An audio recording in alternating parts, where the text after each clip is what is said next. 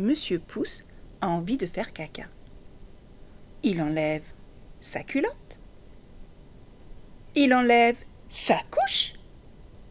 Il s'installe sur le pot et plouf fait la petite crotte. Dans le pot, pas dans la culotte.